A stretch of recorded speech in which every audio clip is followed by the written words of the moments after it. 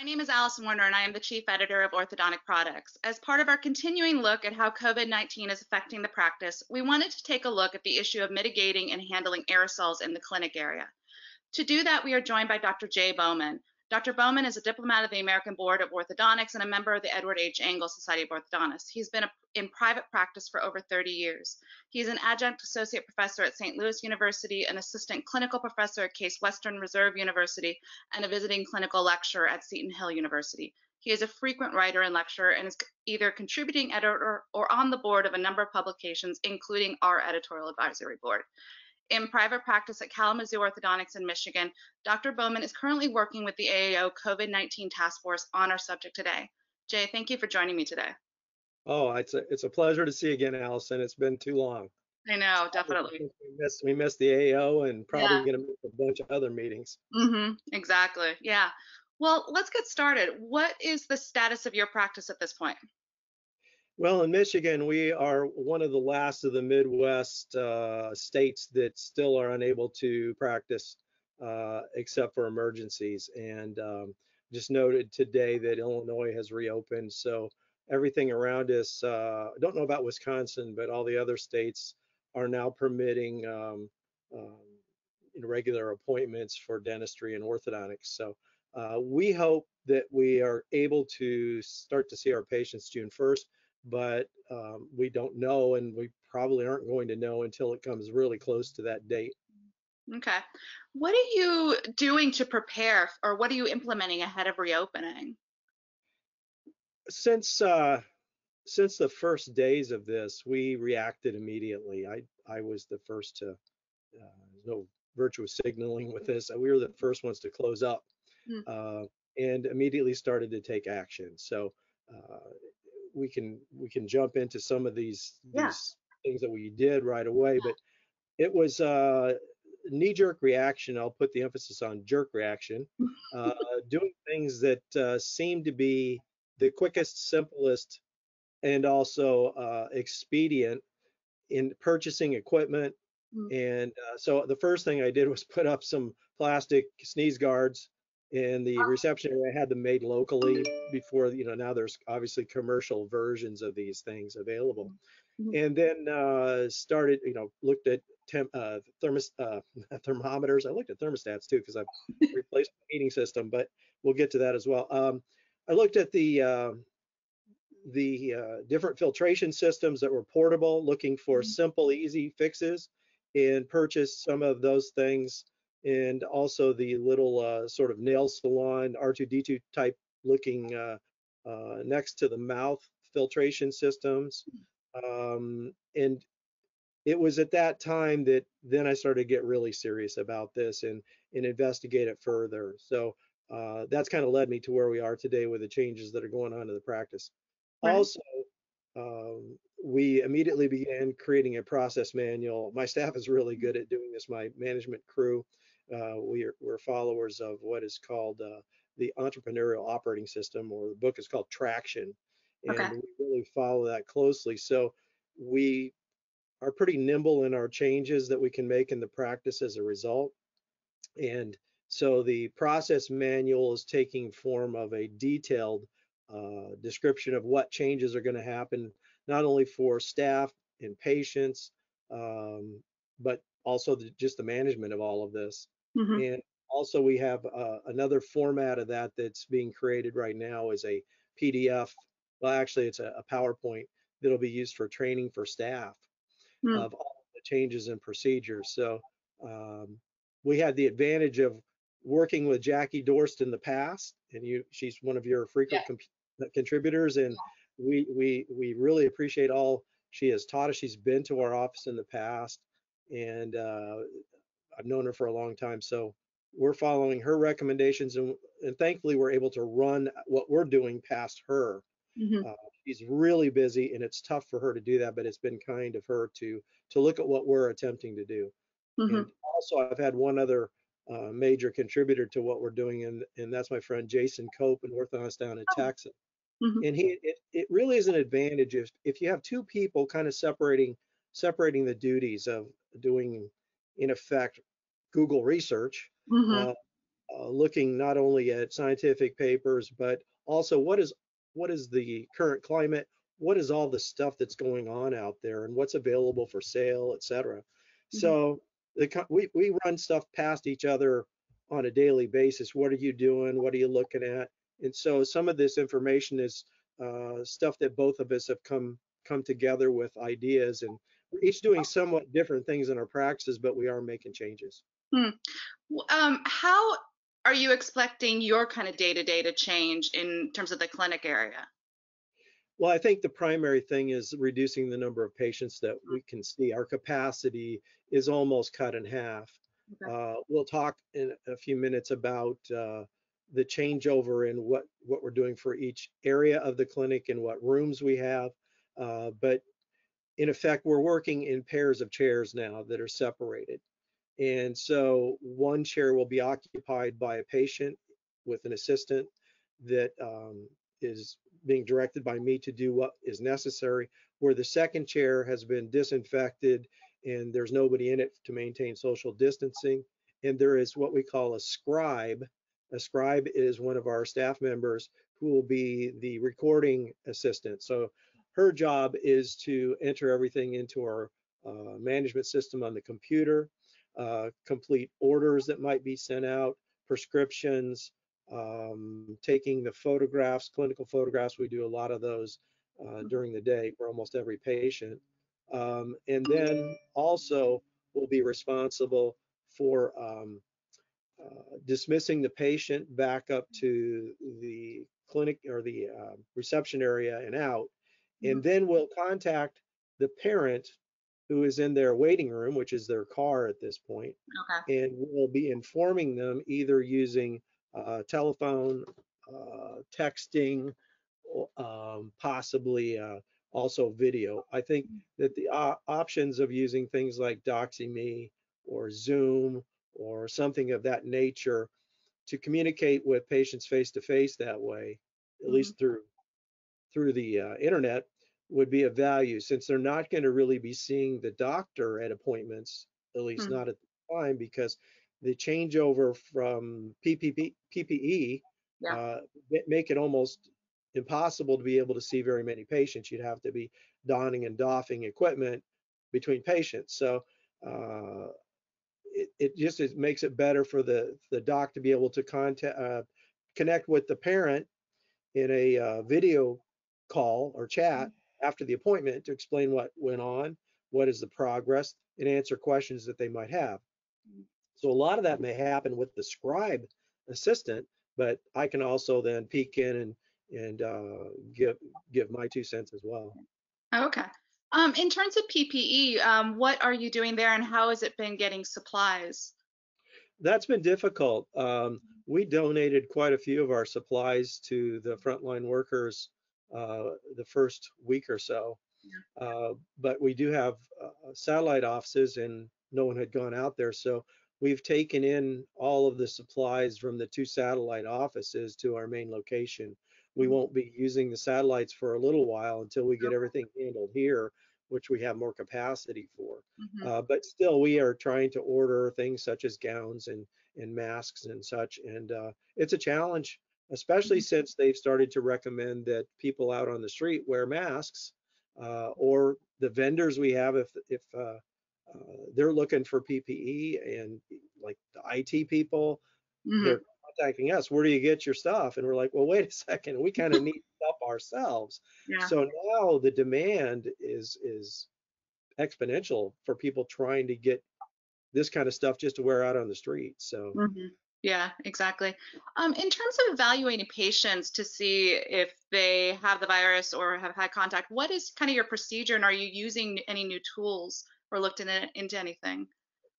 obviously uh, a history is important and I think everybody has seen all those types of things on you know webinars before. So I'm not going to get into the specifics, but uh, the, obviously taking a patient's temperature appears to be something that will be going on pretty probably indefinitely. Right. Uh, we're going to see this more so in other areas, maybe when you go through security at the airport or to a large sporting event or just to the movies, you're probably going to have to have your temperature taken. Mhm. So initially we had um, the no-touch uh, thermometers, the digital thermometers, Mhm. but I was rather surprised when I actually looked at the uh, instructions for these devices. Um, it in a cold environment like Michigan, um, patient comes in off off the street, Mhm. they have a different ambient temperature. Yeah. And when is it you take their temperature? Is it out in the middle of a snowstorm or rainstorm? Yeah. Or once they've already come into your office? That's a dilemma. Right. So with those devices, I'm going to read because I think it's important the instructions for the device that we had. Mm. It says it says it's important to know each individual's normal temperature when they are well by taking multiple readings. The only way to accurately diagnose a fever. Well, that's a big problem because we, we don't have a baseline for them. Right. Uh, then it says the patient must be inside for 30 minutes before taking a measurement. Okay, so there's 30 minutes of an appointment. The device and the patient should be in the same ambient temperature for 10 minutes, and the patient should remove hats, and I add hoodies, headbands, headscarves, etc., 10 minutes before taking a reading. And the parents should not, or the parents, the patient should not drink, eat, or physically be active before or while taking the measurement. I can't imagine chasing a patient around the room to get a measurement. But those instructions tell me, along with the lack of accuracy from these devices, which Jackie Dorst has indicated could be plus or t- minus two two degrees, Yeah. that's absolutely useless. Mhm.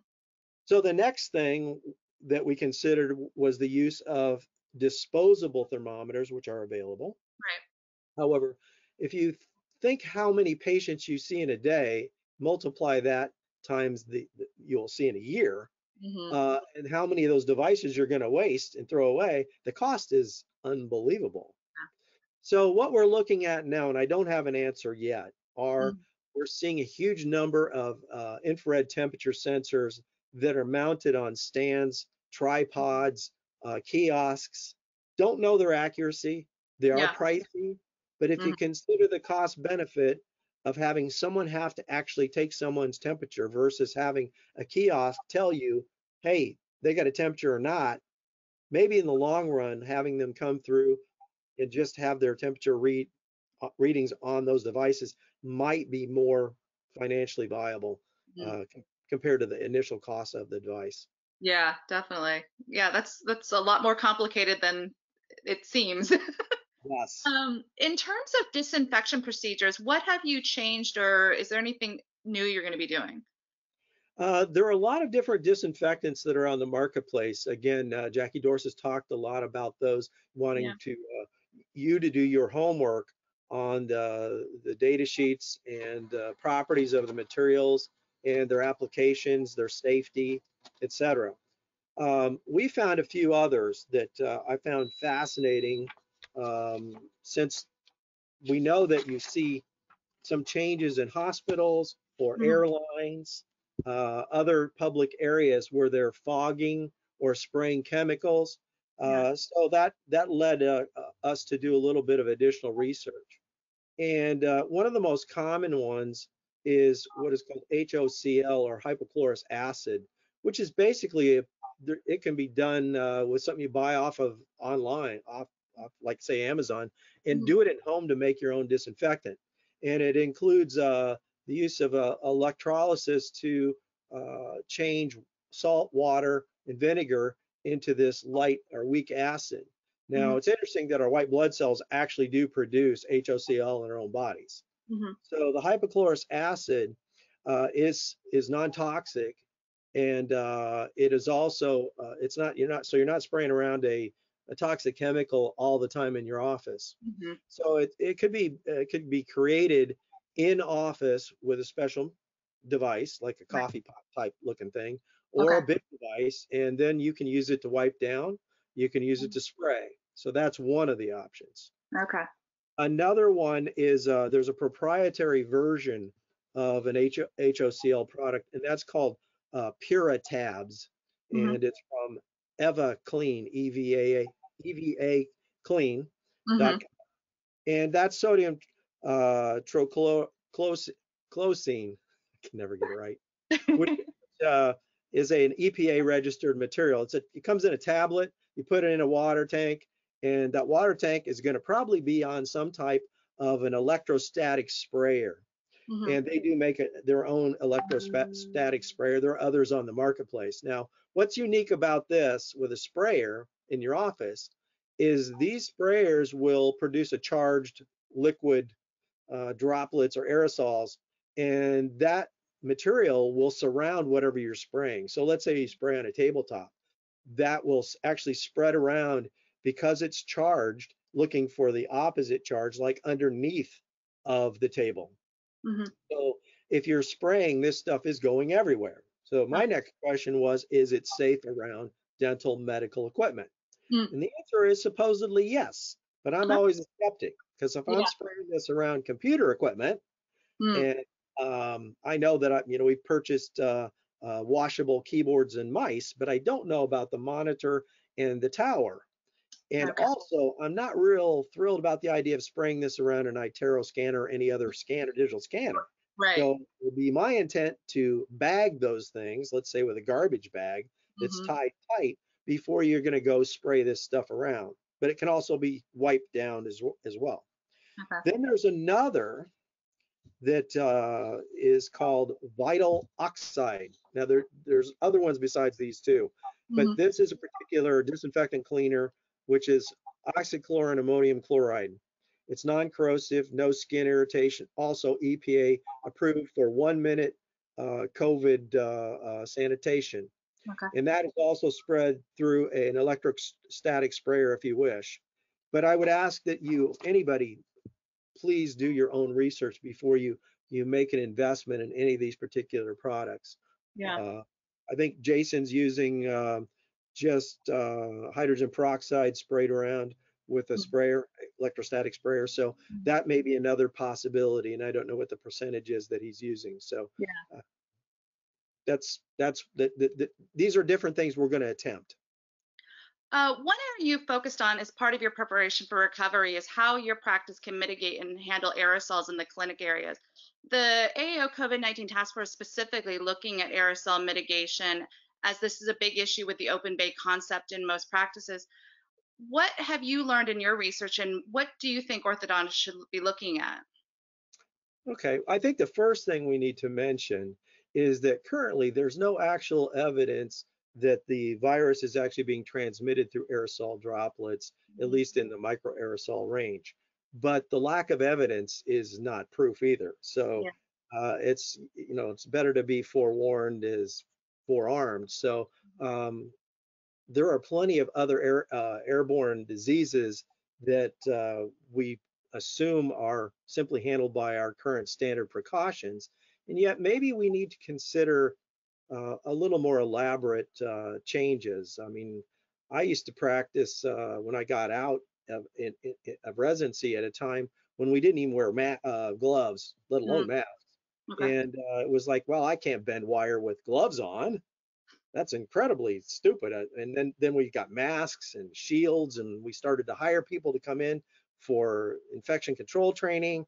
And Mhm. so we're at a point you go, well, I'm not going to change anything. Well, you know, maybe there are some things we need to at least think about changing. So um, that's where our research and I use that word loosely, looking up stuff in a lot uh, led to some changes that we're we are anticipating in practice. Of course, we're not open yet. Yeah. Uh, certainly, mitigation of aerosols begins in the patient's mouth. Mhm. And we know that there are a number of co- uh, commercial devices that we use during our bonding procedures, uh, used in dentistry that go into the mouth to suction uh, saliva and aerosols, et cetera, uh, and debris from like doing a, a, restoration Mhm. uh, that are readily available and been used for a long time. So that's a start. Mhm. Most of those are on the low volume evacuation tubing that we use. Okay. The high evalu- evacuation, the high volume evacuation tubing is not as commonly used in a routine basis uh, because oftentimes requires two two persons, somebody to assist if you're, let's say you're doing uh, polishing of enamel or uh, Mhm. adhesives off of teeth with a handpiece. Uh, if you're trying to hold high-speed evacuation at the same time, it gets to be a bit unwieldy. Hmm. So the second thing that's possible is to add some new devices that hook onto high-speed evacuation. And there are a number of them that we, you can find on the internet that atta- attach to that and may then hook onto your uh, cheek retractor. Hmm. So in case you, as you're doing a bonding, you would attach this device and it works sort of as a scavenger. It's scavenging up just at the edge of the mouth things Hmm. that are coming out. Okay. And with the ones that are attached to the lip retractors, that doesn't require a second person to uh, to hold that device. You could also simply take some type of funnel, uh, and there are commercial versions of that uh, that is attached to the uh, HVE that is Mhm. held by the patient. Hmm. Uh, another option would be to uh, use some again newer devices that are the HVE attachment for a mirror suction combination. So they are a bit pricey, but they it is basically uh, a, a- a- a suction through a mirror that has some perforations on the side of it that's hollow. Hmm. And that then could be held by the same person that's using handpiece. Okay. Okay.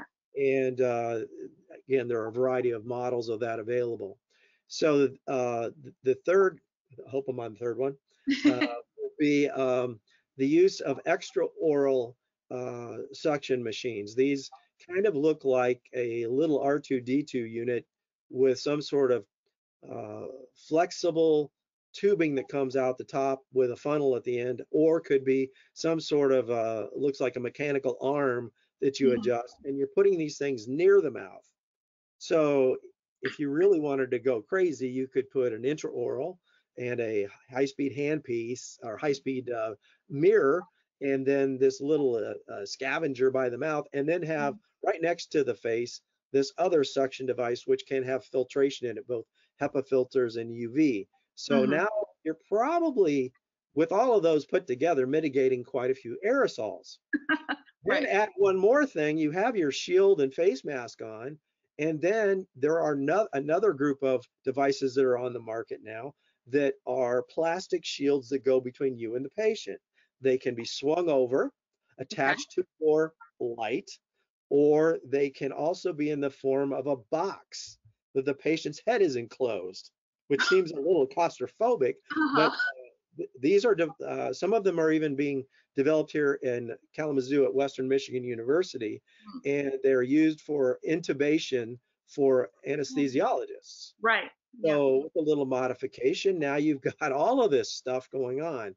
So you're going to get to pick and choose what you feel is the best, because Mhm. remember, all the plastic in front of your face is going to distort what you're seeing. So some of it may be uh, your your ability to to work two-handed uh, or ability to see uh, Mhm. in trying to mitigate these aerosols in the immediate area of the patient.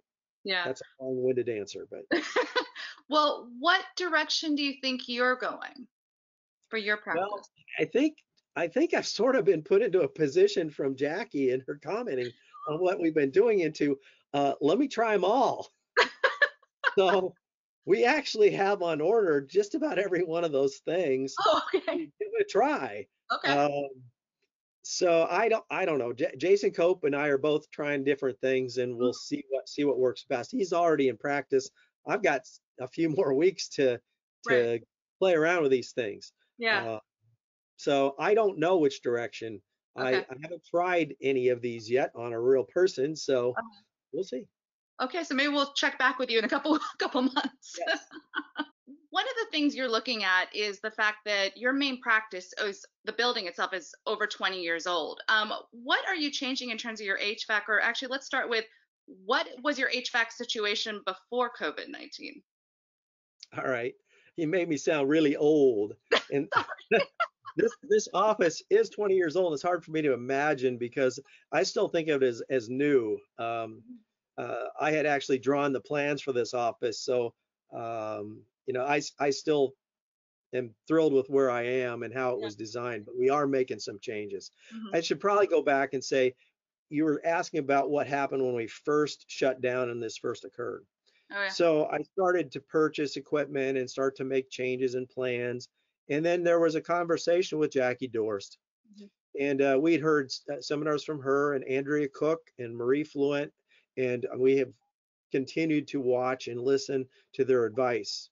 And so one of the things that Jackie said that was intriguing to me was uh, check with your heating, air conditioning, ventilation person, the company that you work with. Mhm. Well, we had uh, been told, I want to say at least a year or two ago, that we needed to change our furnace. We have three of them in the building. Okay. And um, they're, everything is original equipment and has lasted us quite nicely. Mhm.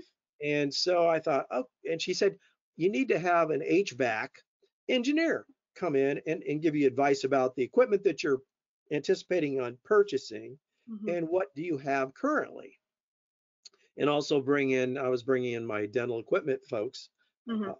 for for this the other project we're going to discuss Right. and um, so we go downstairs and look at the equipment and start to discuss what we're going to do as far as replacing our furnace since we're not seeing any patients uh, maintaining social distancing of course and masks. And uh, they said well why don't you add in a hepa filter and a uv light filter to your furnaces?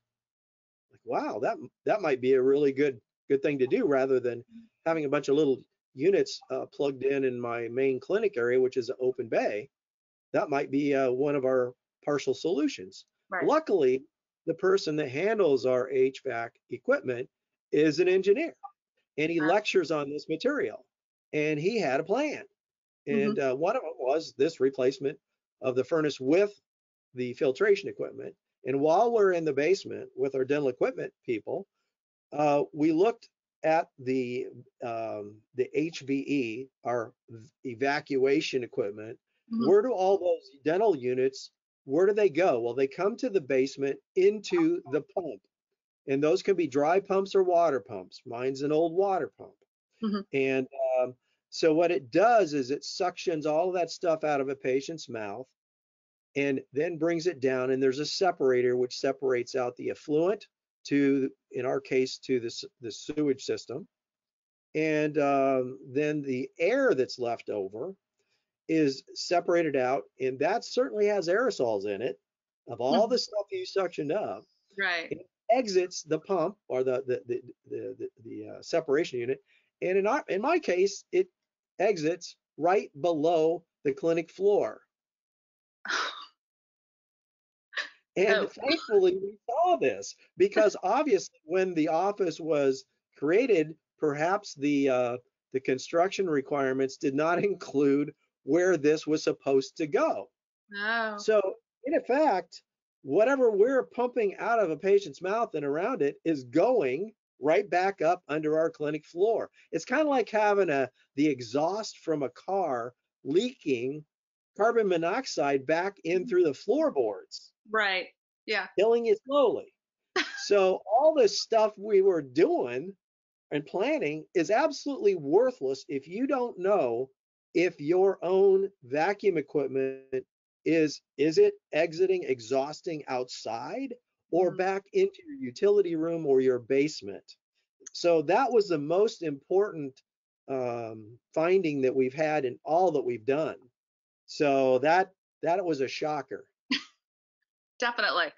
Well, so what physical changes are you making right now to the office?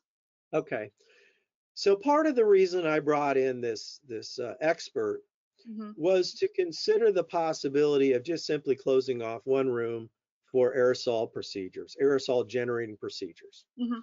And uh, you know, there there had been some discussions of this. I believe that even the uh, state of Pennsylvania attempted to mandate negative pressure rooms. Hmm. And the words negative pressure, I mean, that that just is like a knife through the soul of a dentist because of the costs involved in, in the change in engineering, et cetera. Mhm. So luckily I had two rooms that were we were using for records. So it used to be impressions, now it's scanning. And uh, I decided, well, with a door on this room and no windows, what would it take for us to uh, clear the aerosols in that room because the square footage is not that big. And that's one of the concerns you have with an open bay is the square footage to cover and filter is huge. Right. So assuming that there might be some concerns with aerosols carrying this virus or others, he said, "Oh, well, we do negative pressure rooms, and mm. you know, I know that's not mandated, but what if we could give you an option where, it, with a flip of a switch, it becomes a negative pressure room and exhausts everything that you've filtered. There's going to be a filter system, both Mhm. HEPA and UV, in that room, and you just exited exhausted outdoors. Hmm. And now there's that vacuum is pulling the air into the room and not letting it escape. Well, negative pressure is nothing more than your family bathroom that has a fan in it Oh, is producing eight changes per hour in a typical household bathroom. Mhm. So s- uh, CDC in a uh, uh, aerosol generating procedure, and again, you're going to need to look these things up because these these types of things change all the time. The regulations um, is six changes per hour, and uh, this room can go up to 14 changes per hour, which is like hospital level. Mm. So it's like, wow. So if I bought all of this other gear that we're talking about, and I already had, would that equate to this permanent change for a room that would, in effect, take care of potentially future mandates, or at Mhm. least make everybody feel safer, especially the dental hygienist who's going to be working in that environment primarily and removing braces. Mm. So it it turns out that cost effectiveness, it probably is better for us to do that. Okay. So I know that many just are apoplectic when they hear that, you know, we might have a negative pressure room in our Mhm. practice, but it also doesn't make economic sense to leave it as an air, a negative pressure room unless it's required. Because you have to remember anything you're exiting as far as air outside this office, you're paying for conditioning that air ahead of time, either air conditioning or heating it. So you're just blowing dollars out the wall. So it's only when it would be necessary, you simply have duct work for filtering that room that goes out of the Okay. office. So it's filtered air coming in under a door Mhm. and being filtered within that environment.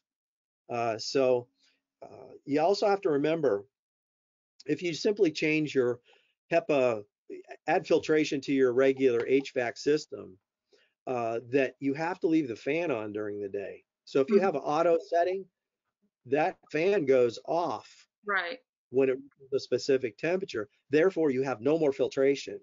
Oh, okay. So that's another thing I had not realized is it sounds great to have that uh, filter on our heating air conditioning, Mhm. but it's not working unless there's a fan pulling that air around. Okay. And it would be the same thing with the the, the private room. So Mm. it has to be turned on and regulated so the amount of air exiting is is up to you how much you want of a negative pressure. So it's not as complex as what we might think to at Right. least come up this to this level. But it's Mhm. not for everyone. And I'm not telling everybody to do this. You may not have a room to do that in. It Mhm. may just be impossible. So now we're back with what are you going to do in an open bay? Mm. Yeah, exactly. Okay. As you have looked at this, um, the professionals you've been talking to, have they had experience working with orthodontic offices before? Uh, the the person that's doing our HVAC equipment, Yeah. no, but he's worked in other medical facilities and they're installing similar things.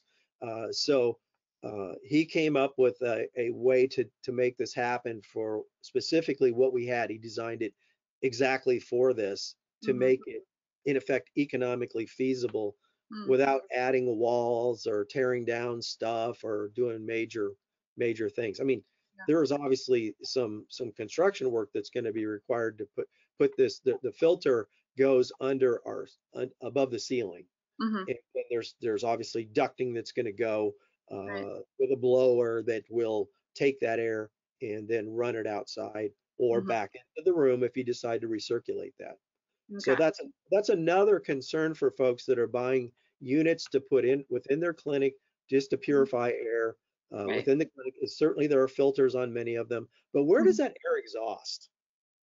It just comes out the back of the, the unit, or Mhm. you could set it up to go outside. hmm You could tie in, I don't know. It sound it would probably sound like a helicopter hovering in your office with all these units tied together to cover all the square footage you would need, and then Yeah. you'd have to have all these holes in your walls somewhere in order to get the stuff out. hmm So you just have to keep those things in mind. That's why my recommendation is the same as Jackie's.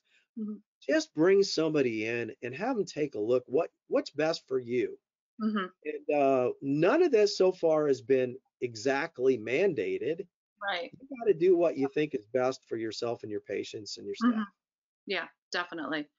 Um, when you were um, looking at HVAC, sorry, when you were looking at HVAC professionals to talk to, um, what kind of previous experience were you looking at? Because you did say that the one you worked with had at least worked with um, some medical offices before. But what would your advice be to orthodontists who are looking to consult with an HVAC ex- expert and haven't before? Yeah, I got lucky because I had no idea that this guy knew knew this stuff. We that's not that wasn't our first conversation about it, it was the intent was to talk about the furnace equipment and what about these other units that I bought? Can you tell me if they're what I should do with them, et cetera. Right. It wasn't it was then when he came up with this plan that I said, Well, that's interesting. Now, how would I tell somebody else to go find somebody that knows what you know? Because he Mhm. he has he has lectured on this material Yeah. uh, and, and, and so he said 95% of HVAC folks probably do not know anything about any of this.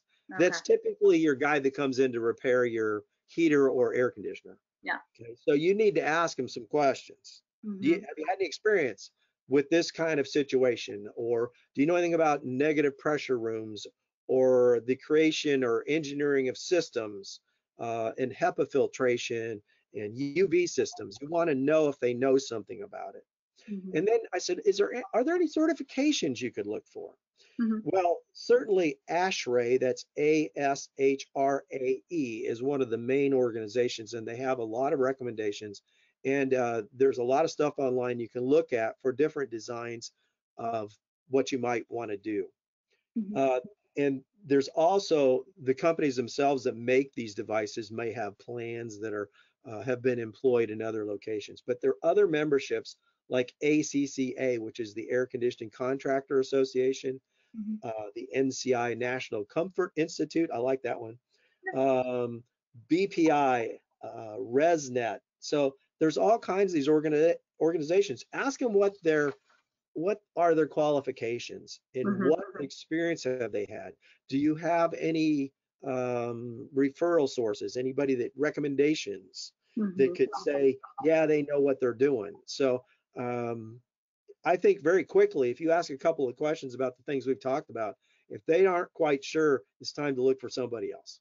Yeah, definitely. Well, I think this information will be really helpful to our audience. So, Jay, thank you for joining me today. I really You appreciate bet. it. Great. Thank you. And to our viewers, thank you for watching. Remember to check out orthodonticproductsonline.com for the latest orthodontic industry news. Until next time, take care and stay safe. Absolutely.